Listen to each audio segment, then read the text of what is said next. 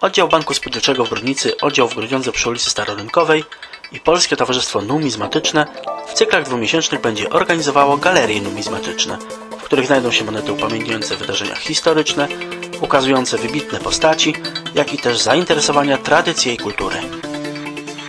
Właścicielem numizmatów jest Krzysztof Lisowski, członek Polskiego Towarzystwa Numizmatycznego. Patronem wystawy natomiast jest Bank Spółdzielny w Brudnicy, oddział w Grudziądzu. Kolejnych spotkaniach będziemy rozmawiali z panem Krzysztofem o monetach, o jego kolekcji, a także dowiadywali się różnych ciekawostek. Może nasuwać się wątpliwość, dlaczego akurat w naszym banku jest ta kolekcja udostępniana mm, do, y, dla szerokiej publiczności. Otóż zdopingowało nas towarzystwo y, tutaj naszego sławnego y, rodaka Mikołaja Kopernika, którego mm, przed, przed siedzibą banku znajduje się pomnik. Natomiast współpraca z właścicielem kolekcji trwa już od wielu lat. Chcieliśmy tą kolekcją wyedukować naszych klientów, naszych tutaj członków, żeby poznali historię mm, różnych sławnych Polaków, różnych dziejów, dziejów Polski, żeby po prostu przy okazji bytności w banku albo też tylko dla odwiedzenia samej kolekcji zapoznali się z, z tymi cennymi eks, eksponatami. Naprawdę warto to obejrzeć. Serdecznie zapraszamy w każdy dzień od poniedziałku do piątku od godziny 8 do godziny 17. W dniu dzisiejszym w Banku Spółdzielczym Brodnickim oddział w Grudziądzu gościmy jednego z kolekcjonerów, no można tak powiedzieć. Kolekcjonerów numizmatyków.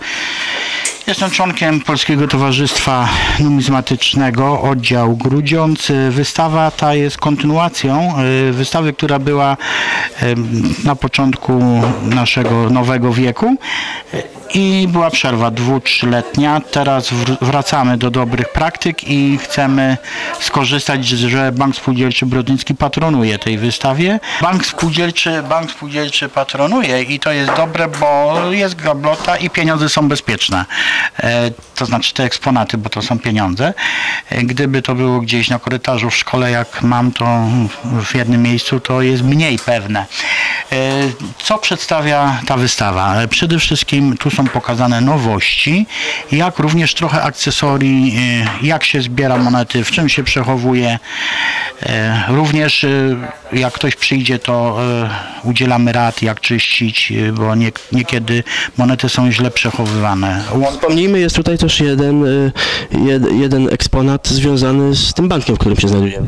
Tak, Bank Spółdzielczy w Brodnicy obchodził piękną rocznicę 150-lecia, to jest najstarszy bank w Polsce, z banków spółdzielczych i nie wiem jak oni to zrobili, spółdzielcy Brodnicy, ale mają wydane monety z tej okazji. Są monety dwuzłotowe, bardzo piękna moneta z kłosem, które można nabyć jeszcze nawet w banku spółdzielczym i są monety srebrne.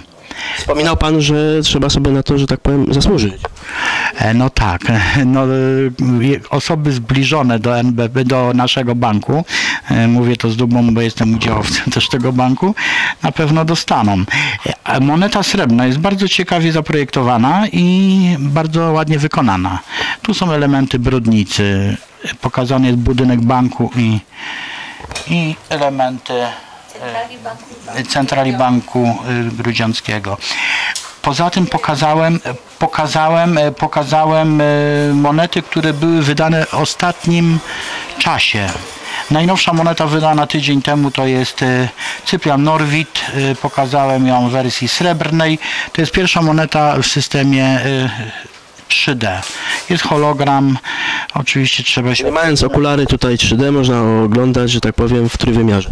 Tak, wtedy jest piękny ten, ten efekt, którym się zachwycamy w kinach.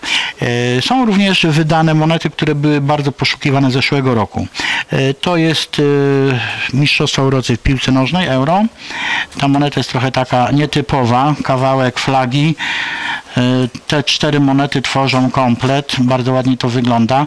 Poza tym moneta z tej serii sportowej to jest Olimpiada w Londynie, ładna moneta.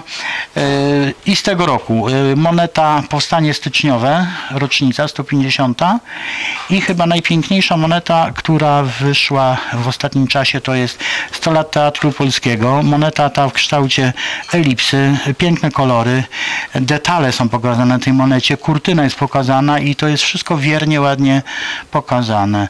E, Monety te są ze srebra 925, czyli dosyć dobre srebro, nie śniedzieje, nie brudzi się. Wspomnijmy tutaj, no może albo nie tyle wspomnimy, ile e, powiedzmy, e, która z tych monet dla Pana jest najcenniejsza? E, No, Nie w sensie wartościowym, tylko może e, sentym, sentymentalnym, emocjonalnym. E, Najcenniejsze monety, tu akurat ja ich nie mam tutaj, dlatego że moja miłość numizmatyczna to monety stare. Począwszy od pierwszych polskich, bo zbieram przede wszystkim polskie grosze, począwszy od pierwszego polskiego grosza, którą to monetę wydał król Wacław czeski i polski król w 1300 roku, to jest grosz szeroki.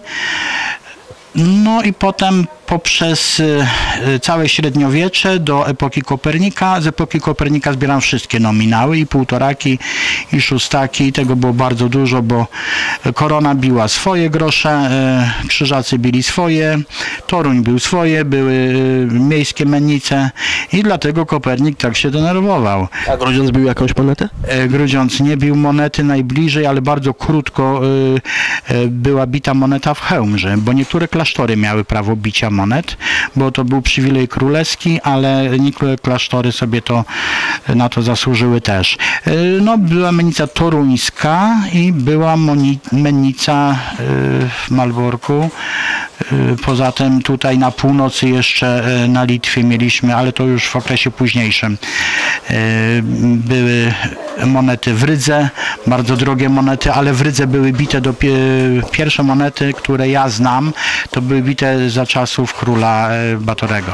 A, te, z- a z tych tutaj obecnych monet, czyli, bo to są współczesne monety, prawda? No z tych obecnych monet cieszę się, że mam tą monetę z kangurem. E, tak się stało, że nie można było ich nabyć, bo, bo bardzo mało jest ich wydane, tylko 5 tysięcy sztuk, to u nas jest około 15 tysięcy kolekcjonerów w Polsce i nie wszyscy to dostali. Jest bardzo droga jak na tą monetę, bo ona e, zawartość kruszcu jest dużo mniejszą wartość ma niż, niż to, co, ile płaciliśmy w banku. No mi się udało akurat kupić tą monetę y, w Australii, w mennicy w Perth i to było troszeczkę taniej, ale bardzo ją lubię i ten zwierzaczek, chociaż za kangurami nie przepadam, to tu ten albinos biały, biały jest, albinos kangur jest bardzo ładny i, i wszyscy na niego chętnie patrzą. Y, No poza tym y, jest bardzo ładna moneta y, z naszym papieżem. Nie dlatego, że to nasz papież, ale dlatego, że bardzo ładnie zaprojektowana, ładnie wykonana. To jest beatyfikacja Jana Pawła II. Moneta 20-złotowa, y, kolorowa, pokazane chmury niebieskie i zarys kontynentów Europy. Ładna moneta, z, z, również z sympatią patrzę na rybaka 5 zł aluminiowego. E, To akurat jest e, unikatowa moneta, bo to jest 58 rok. Tam były dwa, e, dwa rodzaje tej monety były, tej monety były wybite. Ósemka w dacie taka chuda i taka grubsza. No i ona jest droga, bo w idealnym stanie grubsza moneta to 3000 zł, także, a ja mam prawie idealnym stanie Prawie idealne. prawie idealnym. Każdy, kto patrzy, koledzy mówią, co ty chcesz, przecież to jest idealne. Mówię, nie, idealne to musi mieć połysk stempla menniczego jeszcze. Musi być to coś takie, ostre rysy, a tutaj A to może skąd się wzięła ta prawie idealna? e, no prawdopodobnie, bo ja to kupiłem, ja to kupiłem na aukcji. Czyli w drugim, aha, czyli w drugim obiegu. na aukcji, ale y, potem to y, z, tym, z tym klientem pierwszy kontakt nawiązałem przez wymianę monet, bo ja te moje stare monety wymieniam, bo to jest najlepsza, y, najlepsza metoda uzupełniania zbiorów. Można dać jakąś jedną monetę, dostać 10 innych lub odwrotnie. Nieraz trzeba dać 10 lub 15 za tą, co się potrzebuje. I ta moneta akurat, no na pewno jej nie sprzedam, bo jest jedyna jaką mam. 58 rogi właśnie w tej, e, w tej jakości, w tym stanie. E, Ładne są monety paterowane złotem. ładnie to wygląda. Niektórzy myślą, że to złoto, ale to wiadomo. Gdyby była złota, to by kosztowała dużo, dużo więcej, a emerytów nie stać, żeby wszystko mieć, a szczególnie złoto.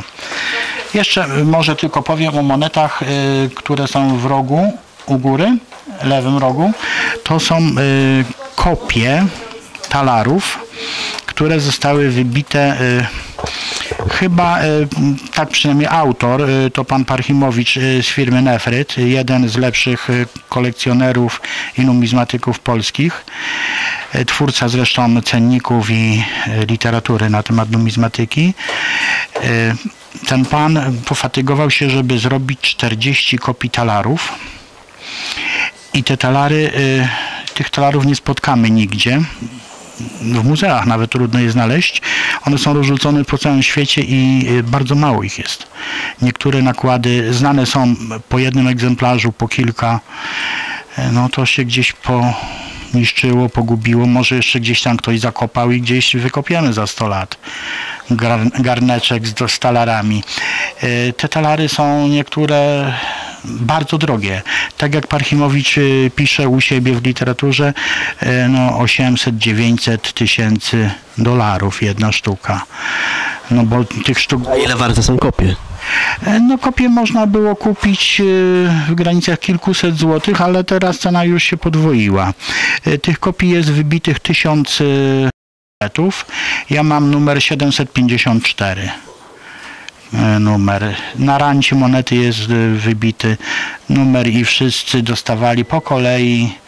E, Bardzo z tego się cieszę, bo to są wartości e, historyczne, poznawcze, jak przychodzą do mnie wnuki, czy ich koledzy, czy nawet starsi z rodziny, to pokazuje to i to rzeczywiście ta technika medalierska, mennicza była bardzo wysoka jak na owe czasy.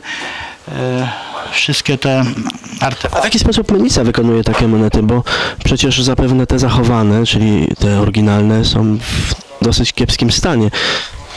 E, W tej chwili, jeżeli e, weźmiemy pod uwagę rozwój informatyki, można, komputeryzacja poszła tak daleko, Rosjanie mówią tak, my się śmiejemy między sobą, Rosjanie mówią dajcie nam monetę, a my wam zrobimy drugi oryginał.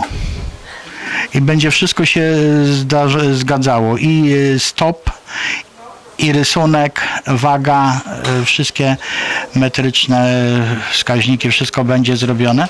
E, Kiedyś rylcem, kiedyś trzeba było to zrobić stempel, jeden na, ew, na rewers, drugi na awers i kawałek płytki e, mosiężnej czy miedzianej. Właściwie to były główne trzy rodzaje monet, złote, srebrne i miedziane. No i były bite młotem, potem były walce, potem były maszyny, potem już maszyny parowe, a teraz wiadomo jest to robione e, najnowszymi maszynami. A propos maszyn mamy najlepsze na świecie, najlepsze maszyny, najlepszych projektantów i najlepsze techniki. Wygrywamy z potęgami dotychczas, jesteśmy w czołówce najlepszych.